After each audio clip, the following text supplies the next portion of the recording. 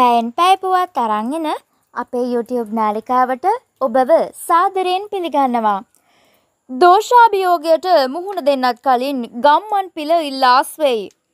Gas මිල තීරණයට සහභාගී වුවහොත් ආණ්ඩුවේම ඇතැම් පාර්ශවල ප්‍රහාරවල ඉලක්කයක් වීම හේතුවෙන් බලශක්ති අමාත්‍ය උදේ ගම්මන්පිල මහතා ගෑස් මිල තීරණය කිරීම සඳහා පත් කරන ලද අමාත්‍ය උප කමිටුවෙන් ඉල්ලා අස් වී තිබේ.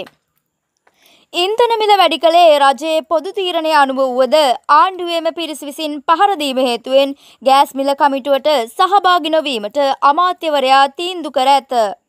වෙළඳ අමාත්‍ය බන්දුල ගුණවර්ධන මහතා විසින් මේ බව කැබිනට් මණ්ඩලයටද වාර්තා කර ඇත.